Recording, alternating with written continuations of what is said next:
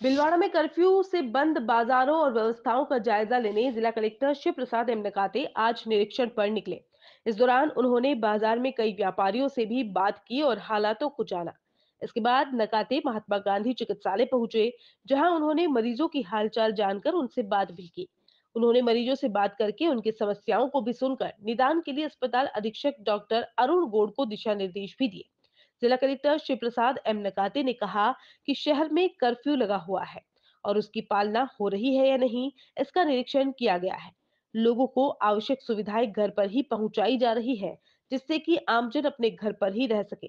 अस्पताल में निरीक्षण के दौरान ऑक्सीजन और अन्य व्यवस्थाओं को लेकर हमने अस्पताल अधीक्षक अरुण गोड़ से वार्ता की है। अस्पताल में बेड की व्यवस्था के सवाल पर। नकाते ने कहा कि हमारे पास पर्याप्त बेड व्यवस्था है, मगर अगर कोई गंभीर बीमार है तो उसे इलाज के लिए अजमेर, जयपुर के अस्पतालों में भी रेफर करना पड़ रहा है। कर्फ्यू ऑर्डर लगे हुए हैं, उसकी पालना शहर में हो रही कि नहीं, उसके लिए सिटी राउंड लिया। और अननेसेसरी लोगों का आवागमन नहीं रहे क्योंकि किराने का सामान व्यवस्थित डिलीवरी दिया जा रहा है। सब्ज़ी मंडी के लिए ठेलों को गलियाँ बांट दी गई हैं तो लोगों को किसी भी चीज़ के लिए घर से बाहर निकलने की ज़रूरत नहीं है।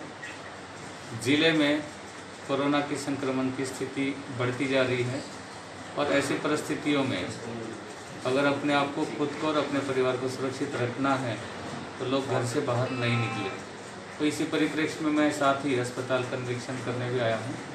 और इनकी जो जो समस्याएँ हैं, जैसे ऑक्सीजन की मांग है, अन्य चीज़ों की मांग है, वो बराबर पूर्ति हो रहे हैं और पेशेंट्स को सही इलाज मिले, इस चीज़ को निरीक्षण करने के लिए देखा गया कि हमारे पास हाई फ्लो ऑक्सीजन के बेड, हमने पिछले पाँच दिनों में साढ़े चार सौ बेड बढ़ाए संक्रमण की स्थिति ज़्यादा है, ऐसी परिस्थिति में बेड लगातार बढ़ते जा रहे हैं, किंतु हमारे लगातार अजमेर से और अन्य नेबरिंग ज़िले से संपर्क हैं। अजमेर ज़िला कलेक्टर से भी मेरी बात हुई है, जब पेशेंट्स को ज़्यादा गंभीर है, ज़्यादा क्रिटिकल स्थिति में है तो उसको उच्च स्तर पर भेजना ज़रूरी है, इसलिए रेफरल भी किया जा रहा है।